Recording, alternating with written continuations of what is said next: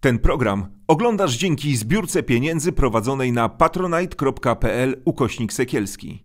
Zostań naszym patronem. Nazywam się Gośka Serafin i choruję na depresję. Chcę Wam pokazać, że można z nią żyć i nie jest to powód do wstydu.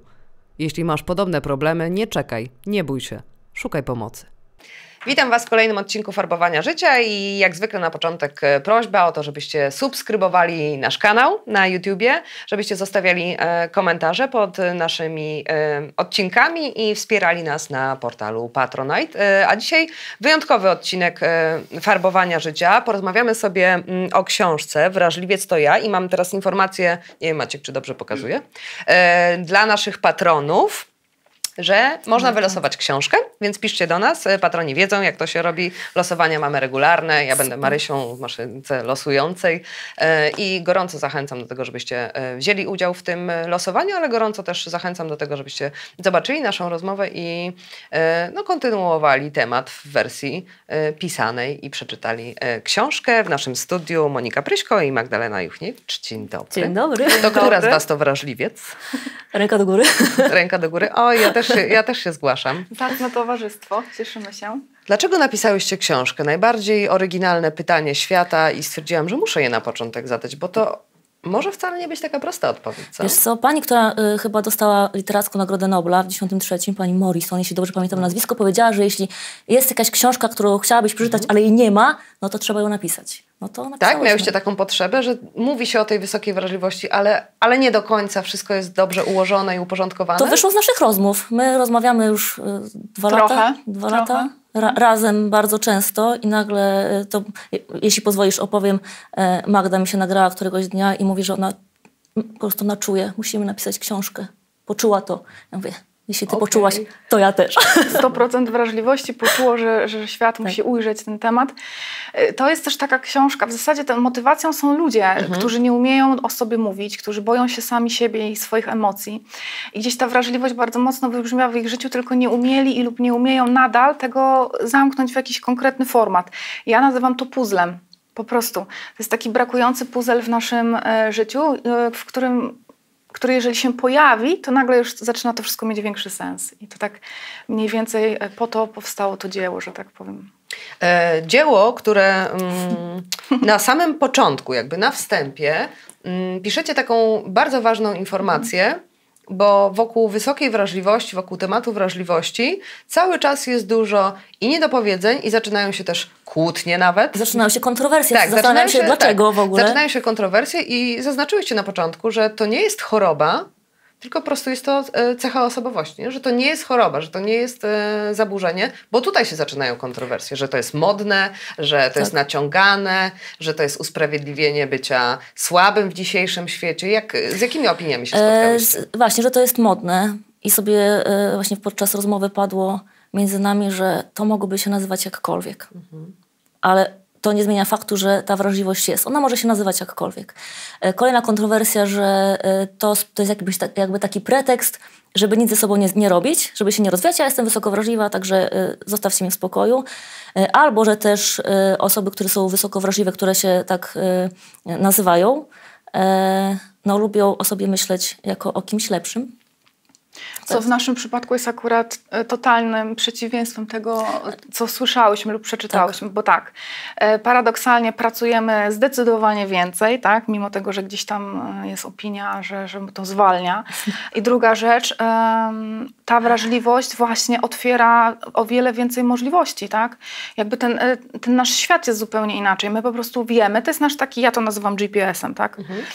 Jest, to, jest to po prostu taka, takie narzędzie, dzięki któremu, albo taka wiadomość o sobie, e, która jeżeli jest zadbana, przetworzona odpowiednio, po prostu wspiera twoje życie. I tyle. I lepiej ci się żyje. I to akceptujesz i idziesz po swoje, że tak powiem. Ale tak naprawdę, jeśli ktoś potrzebuje pretekstów, to znajdzie Oczywiście. preteksty wszędzie i we wrażliwości, i, w, mhm. i nie we wrażliwości.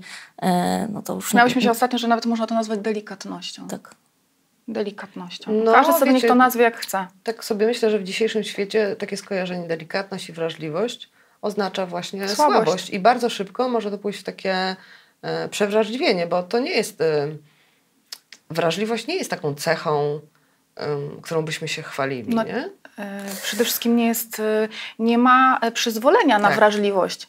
W świecie, w którym my żyjemy. Tak? No tak. Książka jest kontrą dla świata niskowrażliwych osób.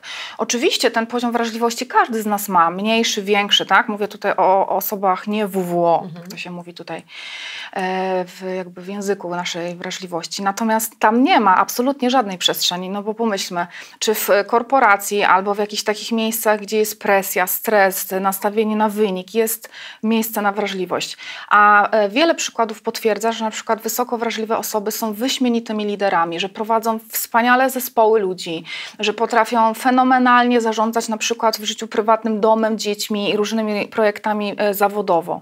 Natomiast ten koszt, tak, potem, który płacą, no ale to już jest jakby też osobny wątek. Pierwsze takie skojarzenie, wysoko wrażliwa osoba, albo i od razu mi się e, kojarzy kobieta. Tak? E, Lub mężczyzna. lub mężczyzna, lub ale to pies. jest takie lub no, mężczyzna małymi literami, nie? Tak, bo tutaj jest wstyd, Tak, że nie jest można. Mm, I wrażliwa, mm, płaczliwa, nie? Mhm. Histeryczka. Histeryczka, Histeryczka. No. psychiczna, wariatka. Słaba. Ponieważ tak, słaba, ponieważ to, to, o czym mówiłyśmy nawet jeszcze przed nagraniem, ilość bodźców, które do nas przychodzą i ta, ten sposób, w jaki my absorbujemy wszystko to, co jest na zewnątrz, e, na przykład taki intensywny tydzień pracy, to jest takie dla nas już enough, tak? To już jest za dużo, my już nie możemy i wtedy sposób, w jaki my odreagujemy, odreagowujemy jest różny.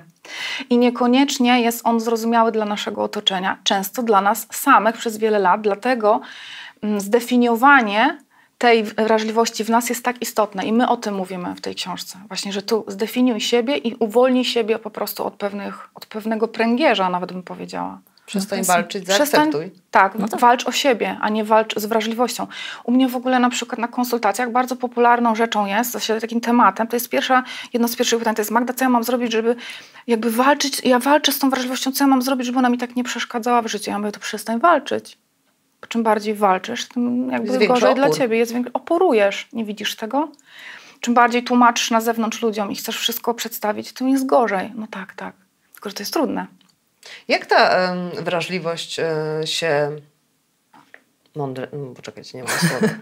Ona się ob, o, objawia mm, w ciele na przykład. Czy to jest też w ciele? Bo. Oczywiście. e, no bo mo, można pomyśleć sobie, dobra, mam taki charakter, tutaj te, tego, to, tamto mi przeszkadza, tamto mi przeszkadza, ale jak już ciało daje znaki, no to to jest niepodważalne. U mnie nie? na przykład, jeśli ja e, na przykład jadę samochodem Mhm. do miejsca dla mnie stre- stresującego w otoczenie, które mnie stresuje, to ja po prostu mam ochotę się rozbierać od razu, że wszystko mnie tak denerwuje. Zaczynam się w ogóle, wiesz, tak, tak jakbym chciała jakieś coś niewidocznego strzepać. Oczywiście migreny.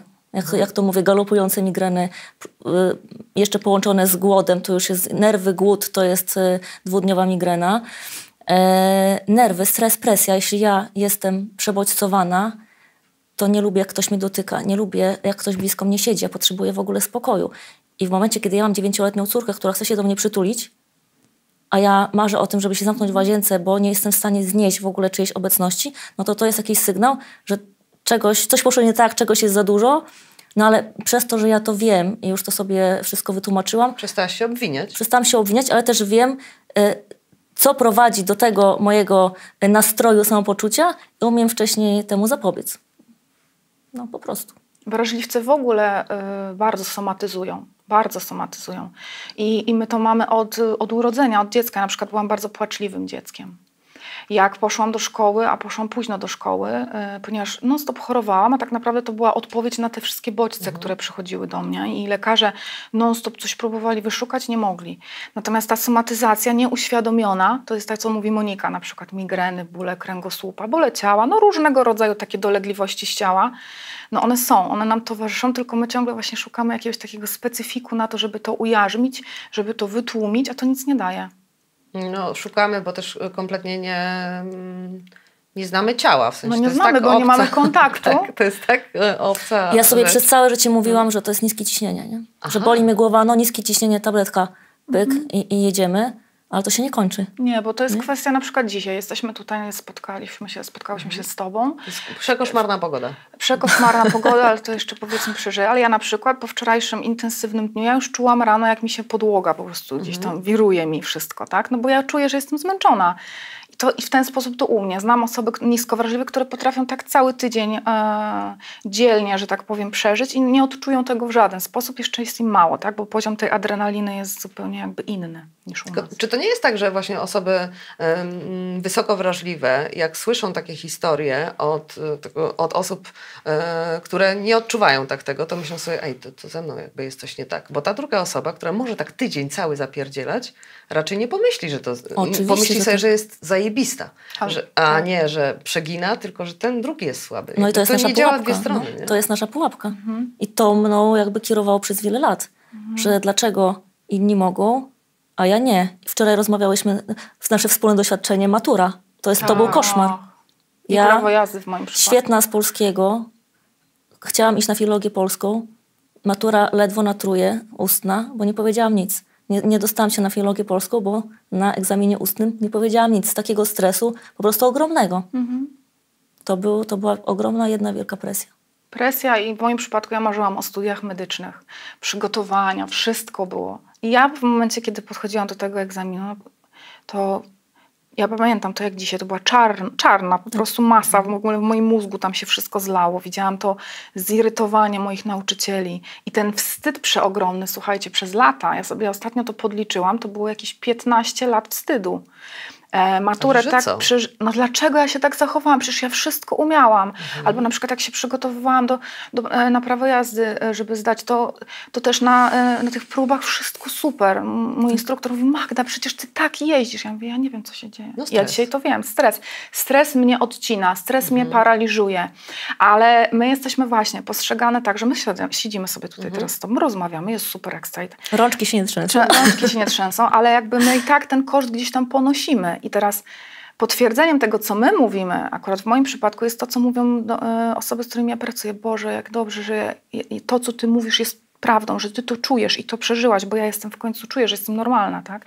Bo my inaczej przetwarzamy. Nasz układ nerwowy jest tak delikatny, że my po prostu musimy sobie zrobić z tym tylko jedną rzecz, uświadomić to i zaakceptować i dostosować się w miarę do tego, co się dzieje dookoła. I to jest jakby podstawa. Reszta to już jest, wiesz, Słuchajcie, mi się płynie. śni do tej pory. E, raz na jakiś czas e, i że, że mam tyle lat, ile mam mhm. E, i nagle ktoś po mnie przychodzi i ja muszę iść do tej sali gimnastycznej jeszcze raz ją zdawać, bo tam to jest nieważne, nie? Tak. a ja oczywiście nic nie tak. wiem. I myślałam, że to jest że to moje wyrzuty sumienia, bo no ściągałam jak dzika w tej maturze. Ściągałam, po prostu miałam tyle ściąg, może już mi nie anuluje tej matury, że miałam mapę ciała no. żeby wiedzieć, gdzie te ściągi tak, są. Nie? Taka trauma. E, I śni mi się co jakiś czas właśnie jako, jako mhm. taka opcja e, Ja muszę wam powiedzieć, że ja przez długi czas też na przykład szukałam swojego świadectwa maturalnego, potem szukałam dyplomów, były u moich rodziców i jak to odkryłam, że to tam jest, taka teczka mhm. sztywna, to ja taką ulgę poczułam, to było dobrych kilka lat temu e, i się rozpłakałam. Mama mówi, dlaczego ty patrzysz? Ja mówię, Boże, bo to jest potwierdzenie, że ja to zdałam, bo to było tak silne przeżycie. Ja potrafię odtworzyć każdą emocję, którą ja miałam. Więc tak, wrażliwcy potrafią w ten sposób, aż, aż do tego stopnia. Tak. I jeszcze drugim obciążeniem właśnie jest ta, to społeczne niezrozumienie. W ogóle. Że, że inni nie mieli problemu z tą maturą, nie? Jak no ale o co ci chodzi, nie? No, to jest tylko tak. egzamin. No, o co ci no, chodzi? Ale co? No, no nie przesadzaj. Trzeba było się uczyć. O, to jest właśnie. najgorsze słowo. Trzeba było się uczyć. A ty się naprawdę, bo wrażli, my wysoko wrażliwi to przede wszystkim jesteśmy bardzo, bardzo e, inteligencję emocjonalną mhm. mają, to, mamy też roz, rozwiniętą, też nas bardzo charakteryzuje tak na tle e, ogółu. Jesteśmy niezwykle kreatywni e, i mnóstwo innych takich mamy przywarów. Natomiast w obliczu takich właśnie sytuacji, w ocenie innych, no potrafimy się skurczyć mocno, nie? I nas to gdzieś tam na lata potrafi zamrozić. Skąd to się bierze? Skąd to się wzięło? Ta wysoka wrażliwość? Rodzimy się z tym? My się z tym rodzimy. Ukształtowani? Czy, My czy rodzimy się i jesteśmy tabula rasa i można nas zapisać? Nie, ja mam wrażenie, Nie. moja mama jest wysoko wrażliwa. Mhm. Tak myślę, że jest. I twój tata. Tak, mój Więc, tata. My się z tym rodzimy, tak. to jest dziedziczne i to jest potwierdzone. To sobie tak stwierdzić. Tak, to można znaleźć potwierdzenie tego na przykład w badaniach yy, i w publikacjach różnych na ten temat. Natomiast rzeczywiście to tylko potęguje z mhm. biegiem, że tak powiem, życia naszego, ale jednocześnie, żyjąc w takim świecie, w jakim wszyscy tutaj żyjemy, jesteśmy regularnie, permanentnie odzierani z tej wrażliwości.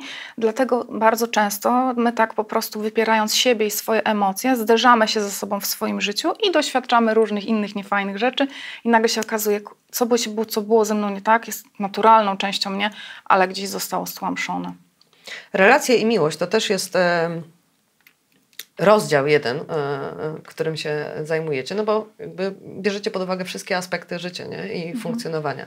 Jak to jest z tymi, z tymi relacjami i z miłością, jeżeli chodzi o e, osoby wysoko wrażliwe? Mm, czy jest tak, że można się jakby bardziej poświęcić w tej relacji, żeby komuś coś udowodnić, żeby być zaakceptowanym i, i w miłości tak samo? Czy, mm, czy są równe prawa, czy spotkałyście się z tym, że jednak jest to taka, e, taka uległość? O, ja właśnie coś mi przyszło do głowy, no. No. ale w ogóle tak, nie, nie myślałam o tym przy, przez wiele lat. No. Ja do trzydziestki, bo mam wrażenie, że od, od 30 mam 36 lat, y, zaczęłam nad sobą pracować, y, to ja robiłam wszystko, mimo że coś mi jakieś w cudzysłowie przekraczało, żeby mnie lubili.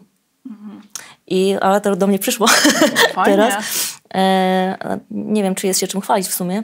Ale jakby wiesz, świadomość tego, że to przyszło i co było wcześniej, ta potrzeba akceptacji, przeogromna tak. potrzeba akceptacji, ta tendencja do popadania w relacje, z, jak już tutaj mówimy w kontekście hmm. relacji romantycznych, bo ta miłość się bardzo mocno z tym wiąże, do popadania w relacje niewspierające, toksyczne, ten głód miłości, tak? E, bo to jest bardzo często ten wstyd, jakby, który nam towarzyszy przez jakąś tam część życia, bo umówmy się, My mówimy teraz bardzo otwarcie o tej wrażliwości, my o tym piszemy. My często, często to jest tak, że ten nasz głos jest głosem tych wszystkich wysoko wrażliwych osób.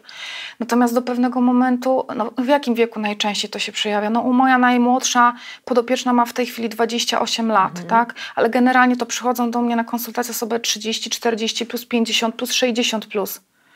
I to są osoby, które mówią, Boże, eureka, tak, mhm. odkrywam siebie. Ale do tego momentu te relacje miłosne wyglądają przeróżnie. To jest po prostu poligon czasami. I jak... Um, tam jest właśnie dużo poświęcenia, takiego oddania, takiego i to prowadzi nas do takiego perfekcjonizmu, dbania o wszystko i wszystkich, tylko nie o siebie, tylko nie o siebie. Ale to może też wynikać na przykład z deficytów, które e, Oczywiście. mieliśmy w dzieciństwie, czyli tutaj jakby przychodzą mi takie do głowy dwie, dwie sytuacje, o których też na szczęście na szczęście jest głośno, czyli DDA i DDD, czyli jakby mhm. sytuacje, w których zostaliśmy ukształtowani w dzieciństwie, one się ciągną w życiu dorosłym. Nie? To też się może łączyć to nie może, ale się łączy. A nie, nie może, ale się łączy. tak. tak. Wszyscy jesteśmy, ja to mówię zawsze tak, wszyscy jesteśmy doświadczeni. Tak. E, ja jeszcze używam mocniejszego takiego stwierdzenia, jesteśmy ofiarami ofiar, mhm. E, ponieważ to też w jakiś sposób nas potem, to nie tłumaczy tych naszych domów i naszych rodziców, ale też jakby po, w pewnym momencie pozwala uwolnić nas samych od ciągłego tak. karania ich za to, jacy my jesteśmy bo oni też, umówmy się, nie mieli łatwo. Ja wolę na to tak patrzeć. Robili, dzisiaj, co mogli. Tak. tak, z perspektywy moich tam ponad 40 lat. E, I jest mi po prostu z tym łatwiej. Natomiast robili dokładnie to, co Monika mówi, co mogli. Ja widzę, jak mój tata się męczył, tak? Jako, I męczy nadal, nie mając kontaktu ze sobą, ze swoimi emocjami. Kiedy ja mu mówię, słuchaj, spójrz na to.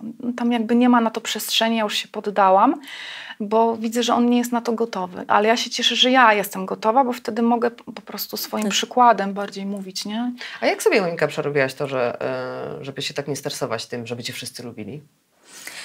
Eee, hmm. Poczucie własnej wartości, poczucie sprawczości. E, ja po prostu nie miałam nic do stracenia. Jakby to już, że no to tak. przyszło do mnie e, po trzydziestce. E, to, to, się, to też się połączyło z, z rozwodem, z rozstaniem z tatą e, mojej córki, więc w tym momencie jakby nie masz nic do stracenia tak. i po prostu się, się, się no. odbijasz. E, I pozwoliłam sobie raz, żeby jakby oceny i y, presja do mnie nie dochodziły. Okazało się, że świat się nie zatrzymał, ja żyję, więc to mi dało odwagę, żeby, żeby spróbować po raz kolejny. Ale u mnie akurat sprawczość. Jakieś takie duma z siebie. I to y, daje mi odpuszczenie, plus jeszcze taka świadomość właśnie, że jestem wrażliwa, czyli nie muszę, y, wiesz, co tydzień dawać wykładów na tysiąc osób, bo na przykład y, robią to osoby, które jakoś mi imponują. Ja taka nie jestem. No i mogę taka być, taka jaka jestem, jestem spoko. Wystarczająco. Tak, jestem wystarczająca. Po prostu. I to jest taka ulga, no. to jest naprawdę wielka ulga. Wystarczająca i, i kompletna. Tak I wtedy nie szukam jakby, y, nie, nie, nie naciskam na siebie, że y, Monika znajdź sposób na to, żeby do tego poziomu doskoczyć, tylko weź to olej i skup się na tym, co lubisz robić. I no jakby, wtedy to płynie. Tak, i wtedy nagle się okazuje, że y, tamte rzeczy przestają mieć dla mnie znaczenie. To już nie jest dla mnie jakaś taka, y, nie wiem, aspiracja, ambicja, do, w, ty, w to się w ogóle nie miesza i y, ja robię rzeczy, które sprawiają mi przyjemność i nagle się okazuje, że to też buduje poczucie sprawczości, pewność siebie, ja się w tym realizuję, czuję się szczęśliwa i nie muszę robić rzeczy, które inni uważają za lepsze, fajne, może które ja powinnam robić. O, powinność Ojej, chyba, nie? Tak. Jest takim, y, takim drogowskazem przez całe życie. Powinnaś, no tak. powinność, powinnaś musisz. Tak. To się, my to często słyszymy, musisz. nie? Musisz. Dlaczego tego jeszcze nie zrobiłaś? Przecież to jest takie łatwe. Czyli zamienić muszę na chcę. Bo jesteśmy By, Byłoby miło, ale to nie jest no, łatwe. No, nie, nie, nie, to, nie, to nie jest łatwe. A jak osoby wysoko wrażliwe odnajdują się w dzisiejszym świecie, jeżeli chodzi o media społecznościowe, bo, bo to jest hardcore, tak sobie myślę. E, I nawet kiedyś zastanawiałam się nad tym, że okej, okay, jak nie było mediów społecznościowych, no bo byłam w momencie, kiedy nie było mhm. mediów społecznościowych, no to dopóki nie wiedziałam, że ktoś z moich znajomych, e, znaczy dopóki się nie spotkałam z kimś z moich znajomych i nie pokazał mi zdjęć z wakacji, swoich, to ja nie wiedziałam, że on był na wakacjach. Dopóki się nie spotkałam z kimś i nie powiedział mi, że zmienił pracę, jest jakiś projekt, coś, to tego nie wiedziałam. Czyli dopiero, no, jeżeli poświęciłam się, na, żeby się spotkać z tą osobą, i porozmawiać, to dowiadywałam się, co u niej, tak? Mhm. A teraz na własne życzenie mam 100 tysięcy informacji o wakacjach, o, o super ekstra zajebistych rzeczach, które robią znajomi. No przecież to się można zdołować, że ja nie daję rady, oni robią takie super rzeczy. Jesie, ja jesienią przecież Instagram się zatrzymał na kilka no. godzin. I pamiętam, wtedy miałam umówiony live z Justynką Mazur i opowiadam o, o, o tym wczoraj w ogóle. No i tak jest 17. No. Mamy na 19 czy na 20. A ten Instagram nie działa. Mówię, kurna, telefon. No po prostu mój telefon, mam stary telefon, muszę kupić nowy. Mówię, dobra, nie, telefon działa, no dobra, yy, no na pewno internet, no. Trzy razy restartuję, no ale nadal nie działa. I potem yy, gdzieś tam przeczytałam właśnie, że Instagram stanął. Ja poczułam taką ulgę, że to nie moja wina i że ja nie muszę, wiesz, ja nie muszę, mhm. mogę w ogóle dostać ten telefon i że ja nie muszę no, ulga taka, że chciałam tej ulgi doświadczać częściej. I jakby od tej jesieni ja tak powoli, powoli zmieniam swoje życie, bo jakby ja pracuję na Instagramie, to jest moje narzędzie pracy, ale nie może być tak, że to narzędzie pracy sprawia, że się czuję gorzej. Mhm. Także to nie, jakby ta zmiana u mnie nie, nie, nie przychodzi tak, ale e, zmieniam się. Krokami. Tak, krokami. Ja, ja przyłapuję na tym, że ja siebie chronię, na mhm. przykład wyciszając różnego rodzaju relacje w social mediach. Mm no, I po ja prostu nie mając kontaktu, tak, z tym mhm. wszystkim, co do mnie przychodzi, bo mnie to tak obciąża, że ja nie jestem w stanie funkcjonować, bo ja jakby dzielę sobie to moje życie na to prywatne i zawodowe. I ja wiem, że jeżeli ja nie nauczę się dbać o swój dobrostan, nie będę w stanie pomóc innym, to po pierwsze, ale w zasadzie po drugie, bo po pierwsze nie będę w stanie po, pomóc sobie, po to to, po to to wszystko przeszłam, tak? Po to powstała też ta mhm. książka. Więc wyciszam, gdzieś tam potrafię na przykład odłożyć ten telefon. No, natomiast ten fonoholizm gdzieś tam dotyczy nas ciągle, tak? No bo jednak, yy, no umówmy się, jest to narzędzie, które na no, I wszyscy kontaktu. odnoszą sukcesy. I wszyscy odnoszą sukcesy i to jest takie no, bardzo obciążające, więc trzeba mieć tak, mhm. taki trochę trochę. Trzeba się tego tak, nauczyć. To, to nie jest łatwe. Nie? Że no. Ja jakby nie, nie, nie, nie, mam przestrzeni, nie mam siły, nie dam rady, mhm. muszę udowadniać, bo osoby wysoko wrażliwe, e, wspomniałaś na początku o tym, że, że mogą być ciężkimi pracownikami. Nie, one po prostu pracują ileś razy bardziej, więcej i są w stanie się poświęcić, nie mają żadnej granicy, żeby tylko pokazać, że są normalne. No dlatego, Czyli że sobie radzą. Tak, tak bo konstrukt wrażliwości to jest właśnie lojalność, odpowiedzialność, y, to jest y, po prostu pracowanie czy, czy w ogóle wykonywanie różnych zadań po, powyżej naszych możliwości. Natomiast to wszystko nas prowadzi w konsekwencji, jeżeli nie spełniamy oczekiwania y, świata zewnętrznego do wspomnianego perfekcjonizmu i do tego, że my sami tracimy kontrolę nad tym naszym życiem i my już po prostu nie wiemy, w którym miejscu my jesteśmy. Jeszcze pięć lat temu, sześć lat temu hmm. pracowałam na trzech etatach. No właśnie. Praca w agencji, potem E, dodatkowy etat już prywatny jako e, mikrodział marketingu i jeszcze sw swoje blogowe rzeczy, plus jeszcze magazyn. Cholera, Ale kiedy e, ja to... pracowałaś, bo potrzebowałaś pieniędzy, czy pracowałaś, E, bo... ja byłam wtedy e, samotnym rodzicem e, i potrzebowałam takiej przestrzeni, która odciągnie moje myśli, plus jeszcze to poczucie sprawczości. Jeśli ja się realizuję, Tu miałam porażkę, a tutaj tak, teraz, no. to, to, to sprawia, że ja się czuję lepiej i mam lepszy nastrój, no to się przekłada na wszystko oczywiście. E, no, ja po prostu musiałam sobie poradzić. No, a teraz myślisz, że Jezus, jak można było tyle, nie? I jeszcze jest coś takiego, słuchajcie, przy okazji takiej ilości zadań, e, które nam są, umówmy się, bliskie, tylko każda pewnie tutaj może mówić z nas o różnych doświadczeniach, to, że e, bardzo często wrażliwcy pochodzą z takich domów, w których nie były nauczone odpoczynku i tylko się mówiło, "Dla- Dlaczego ty leżysz? Teraz trzeba, jest sobota, trzeba sprzątać, trzeba robić to, trzeba robić tamto. I jakby, żeby pewne rzeczy też realizować, to ja bardzo często do tej pory słyszę, no to przecież nie, no ja nie mogę odpocząć, no bo ja, jakby, no to jest egoizm. Nie, no właśnie to nie jest egoizm. Właśnie zdrowy egoizm polega na tym, że ty musisz teraz odpocząć i odciąć się, na przykład od social mediów, tak? Nie oglądać, co tam robi jakaś koleżanka, czy co tam się znowu dzieje gdzieś na drugim końcu świata. My nie, możemy, nie musimy być na bieżąco. Nie musimy. Nie to musimy być ta na bieżąco. umiejętność odpuszczenia, bo ja, i, my, i niestety nikt za nas tego nie zrobi. Nawet najlepsza terapia nam tego nie da. Mhm. Bo my sami sobie i same, bo często też jeszcze panowie przecież w tym wszystkim są też, e, jesteśmy więźniami lub zakładnikami samych siebie tak, w tym świecie. On jest, to jest świat, em, który się nie zmieni. Mamy dwie, są dwie drogi. Albo będziemy gonić za tym króliczkiem, albo po prostu będziemy starać się, bo nie to, że jakby możemy to wszystko, wiecie, zmienić i, i na pustynię się wyprowadzić, bo takie mrzonki to absolutnie, jakby my o tym tutaj nie mówimy. Jednak jesteśmy, jak to mówią Przede co wszystkim niektórzy, nie planeta Ziemia. I też nie chcemy tak, nie chcemy czarować, że my tutaj nie pracujemy dużo albo że czegoś Bo nie my robimy. lubimy to. My akurat Tylko lubimy. trzeba mieć ten, e, umieć e, Kiedy zadbać o siebie. I wybrać to, co jest dla ciebie. W pewnym momencie po prostu wybierasz. Mniej lub bardziej. Y, Piszecie o życiu w zgodzie ze sobą, jak żyć w zgodzie ze sobą, o, o asertywności, wyznaczaniu e, granic, o w ogóle mm, pokazywaniu emo emocji, na przykład złość i gniew. To są emocje, których w ogóle nie umiemy pokazać, bo nie wypada. E, Mam takie poczucie, że kiedyś nie było, kiedyś, jakiś czas temu w ogóle, mm, nie było czegoś takiego jak mówienie o tu jest moja granica, tam jest moja granica i w ogóle e, tego słowa używają tylko osoby, które zetknęły się z pracą e, nad sobą. Asertywność, granica, totalnie mieliśmy to zatarte, o tym się e, nie mówiło, o wyrażaniu emocji też się nie mówiło. I, i my tak żyliśmy w tym, tak nas nauczono, że o tym się nie mówi, tego się nie robi. I ja na co? przykład zazdrościłam kiedyś tym, co potrafią odmówić w pracy. Nie, nie zrobię tego, bo coś, a ja myślę sobie, no nie no, no zrobię, no to może bardziej, mnie, że będę jeszcze taka bardziej zaakceptowana. Jeszcze- Zajeżdżałam się jeszcze bez sensu. bardziej, bardziej, Jeszcze nie? bardziej, bardziej. Wydaje mi się, że my o, tym- Docenią o tym mówiliśmy, nasi rodzice o tym mówili, bo nie wiem, czy, czy wy uży- używacie takiego sformułowania. Ja się złapałam na tym, że to było u mnie ba- bardzo często i mówiłam, ja mam dość, mam dość. Tylko, że nic za tym nie szło. Ja po prostu mówiłam, że mam dość, ale nikt nie reagował, bo ja sama nie reagowałam, ja tylko mówiłam, że mam dość. Tak. Ja po prostu mam, y, ostatnio robiłam sobie taki, taki test, y, jakie są moje hasła, kiedy jestem właśnie wkurzona, a kiedy jest presja, to mam dość.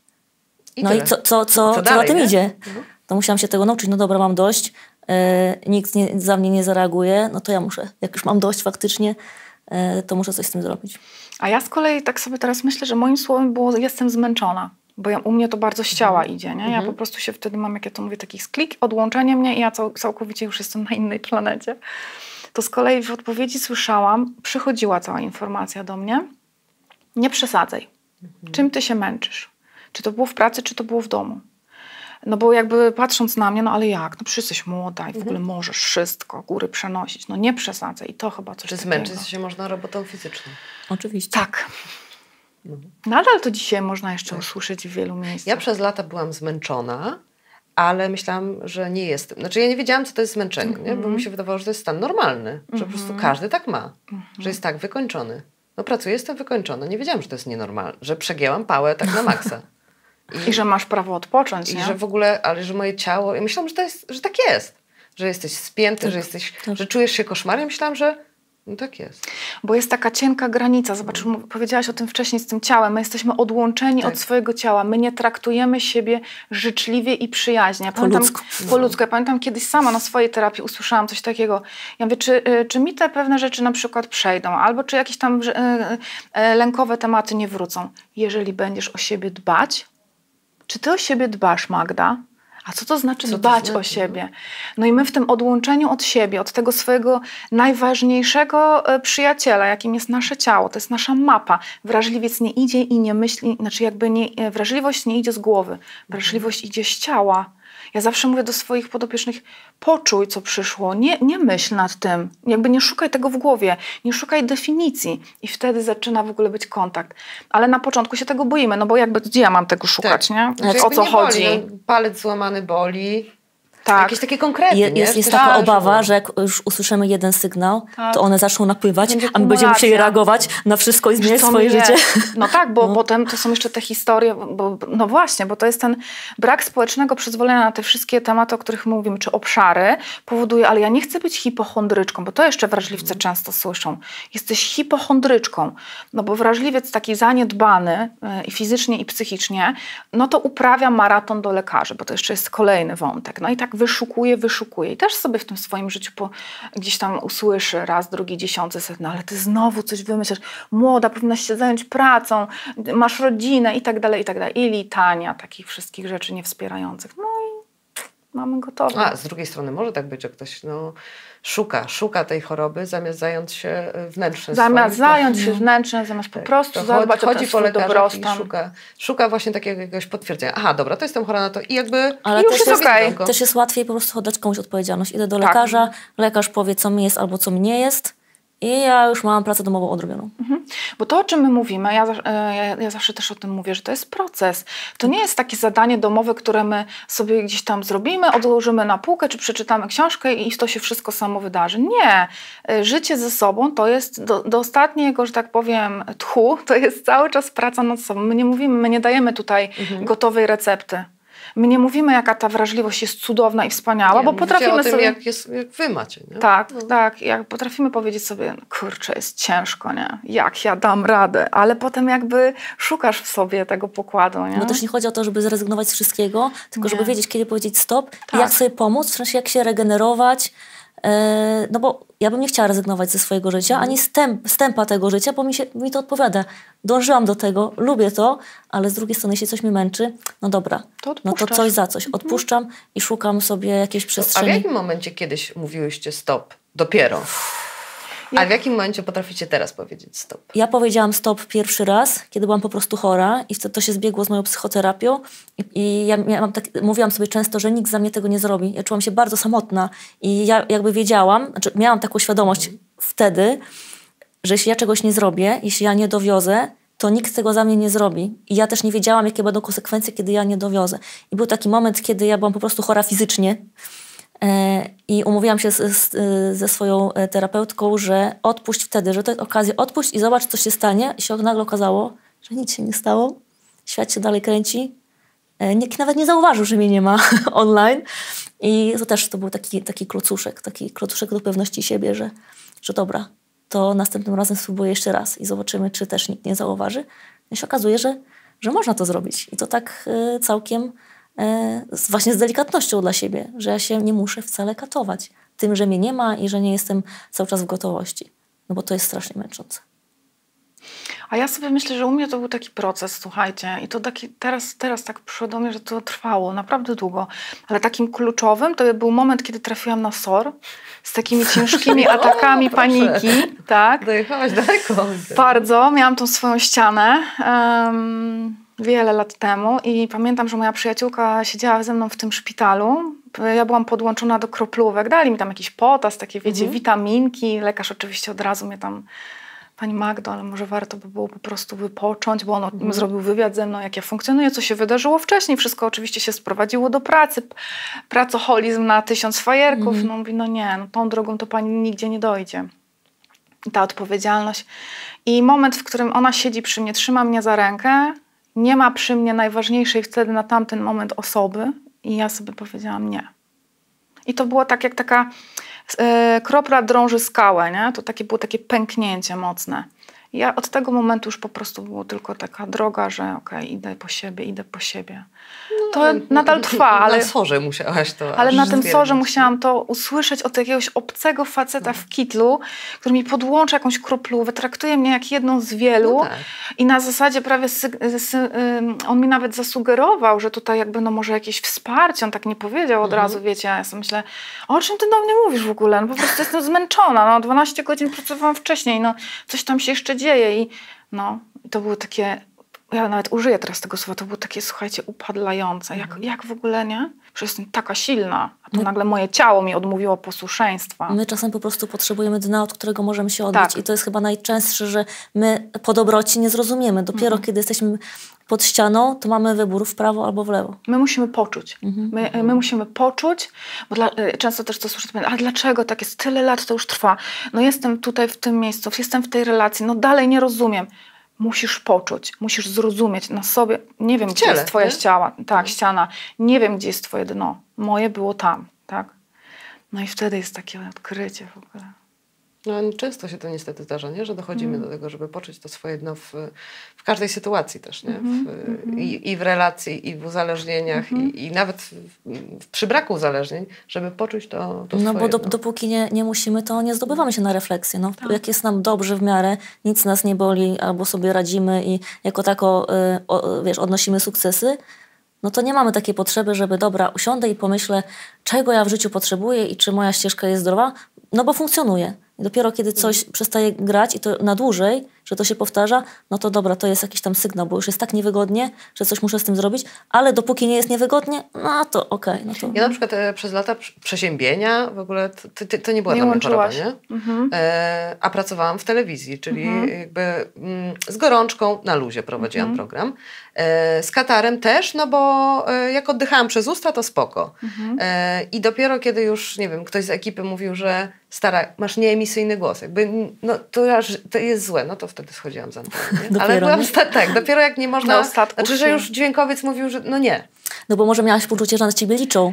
Rozumiesz? No tak, Musisz że, się że, stawić. no, no ta odpowiedzialność, katar, wiesz, no co ty, no to nie choroba, nie? No, a to chodziło katar, o to, żebyś tak. to odpoczęła po katar prostu. to nie jest choroba. No a potem dojechałam tak, że, że wpadłam w bezsenność i, i miałam załamanie nerwowe i dopiero wtedy się Obudziłaś. obudziłam. No. I, I to jest straszne, że dojeżdżamy do, do takiej y, granicy, ale chyba może, może każdy musi ją sobie poczuć. No to, to jest to, straszne. To jest takim, no darem jednak, nie? żeby nie było za późno, że jednak potrafimy ocknąć. Jak to mówi Magda, to jest GPS.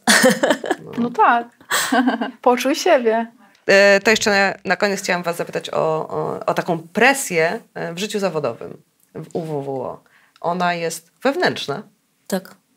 Bo jakby nikt na mnie z zewnątrz presji nie nakłada. To jest moja prywatna, osobista e, presja.